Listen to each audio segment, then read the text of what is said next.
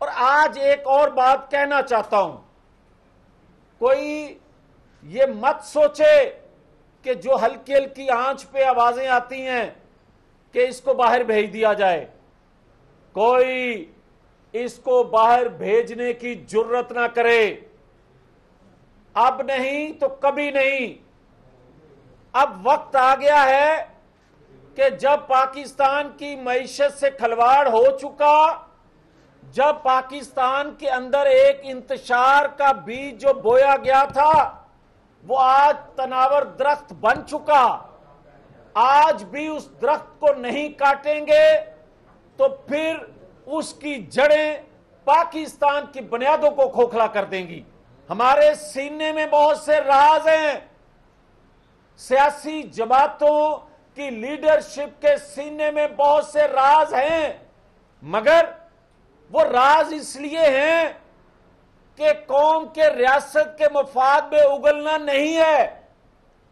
मगर आज हमें ज़ुबान खोलना पड़ेगी इसलिए कि मेरी रियासत, मेरा धर्म, मेरी धरती अगर वो खतरे में पड़ेगी, वो किसी जानब से भी पड़ेगी तो मैंने इस जबान को जो लगा ताला है, उसको खोलूँगा वो सीना जिसमें राज हैं, रियासत के मफाद के लिए फिर वो खोलूँगा। मैं ज़ुबान खोलूँगा क्या पाकिस्तान के इंटेलिजेंस अदारों के इलम में नहीं है कि 9 और 10 मई को किस किस अदारे में बैठे शख्स ने इसके लिए सहूलतकारी का रोल अदा किया? और जो किया वो अगर बेनकाब हो जाएँ और कर लिए जाएँ तो ये वही किरदार हैं जिन्होंने 2017 में पाकिस्तान की बर्बादी की बुनियाद रखी। वो सारे के सारे बेनकाब हो जाएँगे। शायद इसलिए उनको बेनकाब नहीं किया जा रहा 9-10 मई के वाक़े के किरदारों को बेनकाब अदारों में बैठे लोगों या एक्स लोग जो हैं, उनको कर दिया जाता। कई लोग ये सोच रहे हैं कि 2017 के किरदार भी कहीं बेनकाब ना हो जाएँ। अब करना पड़ेगा। आज जो कुछ हो रहा है, क्या मालियाती अदारे, दुनिया भर के मालियाती अदारे, क्या पाकिस्तान के साथ सियासत नहीं कर रहे? इसलिए नहीं कर रहे कि और इतनी कड़ी शराइत पे एग्रीमेंट की बातें होती हैं कि पाकिस्तानी कौम को कोई रिलीफ ना दिया जा सके। और इसका फ़ायदा किसको दिया जा रहा है? और क्या पाकिस्तान के अंदर से जो रियासती अदारे हैं, उनमें बैठे लोगों के जो फैसले आ रहे हैं, कभी किसी दहशत गर्द के खिलाफ उस रियासत के दिफा के खिलाफ उस रियासत को इंतशार का शिकार करने वाले दहशत गर्दों के खिलाफ के जो इकदाम होते हैं क्या उन रियासतों के काजी अपने मुल्क के मफाद के खिलाफ फैसले देते हैं? जिस तरह आज आ रहे हैं? और क्या यह हकीकत फिर नहीं है कि जो अदारों में बैठे लोग सियासत खुद नहीं कर सकते, वो सियासत करवा रहे हैं? और क्या ये हकीकत नहीं है कि अगर 2017 में इस तरह के खतूत आते 2017 में बेनकाब साजिशों को किया जाता तो 2018 में जब आरटीएस बंद हुआ था, क्या कोई खत आया था? क्या पाकिस्तान के बाहर बैठे ममालिक को कोई तशवीश हुई थी? जो चार साल रियासती इदारों को एक पेज पे करके जो कुछ अपोजिशन उस वक्त के साथ किया गया जो नवाज़ शरीफ के साथ किया गया, उसकी फैमिली के साथ, उसकी जमात के साथ किया गया, कोई खत आया? किसी ने आवाज़ बुलंद की और यही कहा गया, बस कबूल करो। मगर आज जो कुछ हो रहा है और क्या हो रहा है, मुझे कोई ये बताए कि अगर 2014 में पीटीवी पार्लियामेंट वज़ीर आज़म हाउस पर जो हमला करने वाले थे, उनको पकड़ के उनके सहूलतकारों को बेनकाब कर दिया जाता। तो मदीना मनवरा में जो बेहरमती हुई थी, किसी को ज़रूरत ना होती। और अगर वहाँ बेहरमती जो नारेबाजी, जो उदम बचाया गया, अगर रियासत के अदारे उस पर सख्त एक्शन लेते तो फिर 9 मई 10 मई का वाक्य न होता।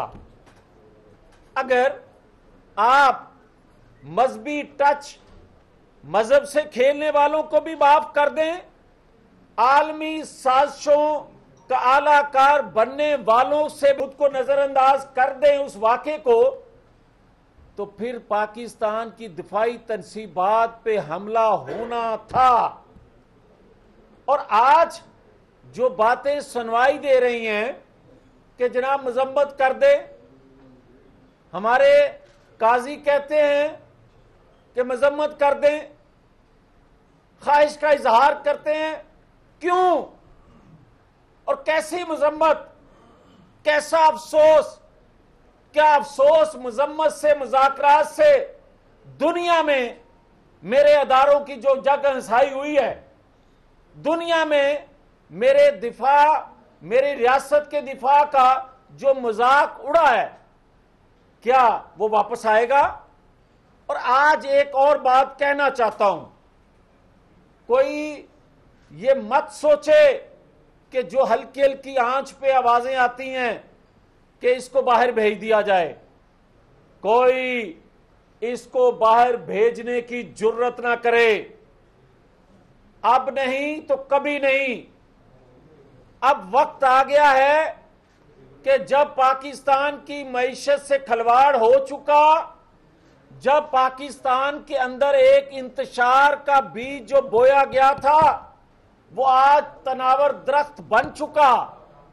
आज भी उस दरख्त को नहीं काटेंगे तो फिर उसकी जड़ें पाकिस्तान की बुनियादों को खोखला कर देंगी।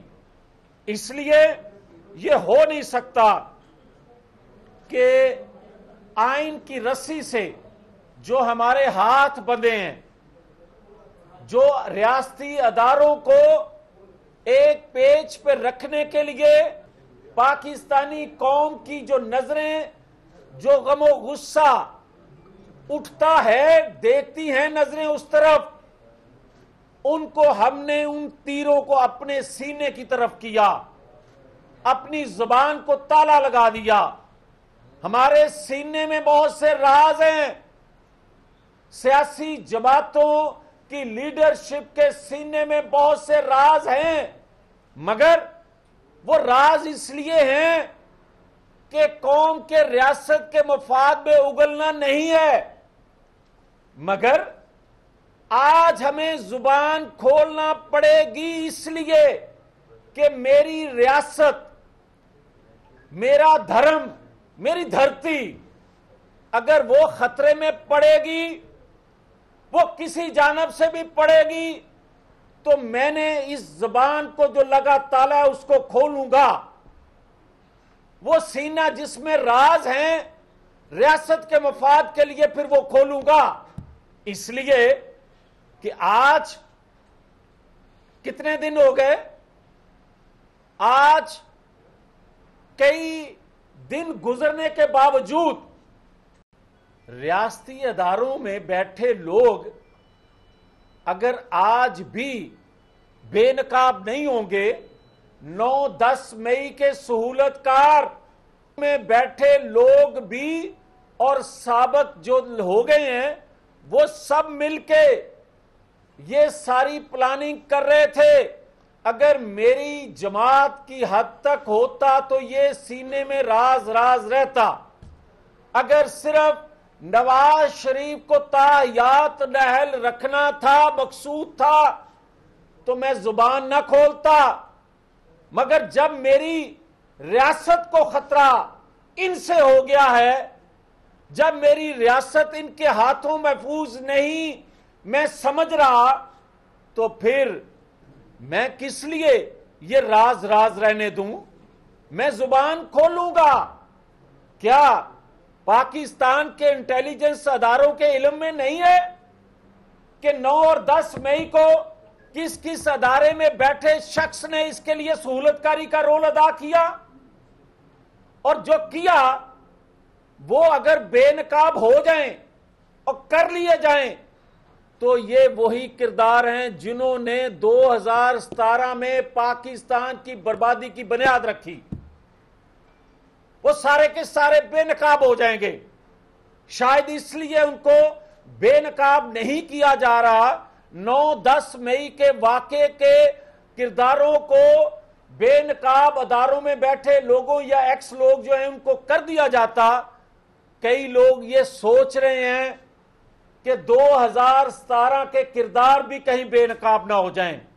अब करना पड़ेगा।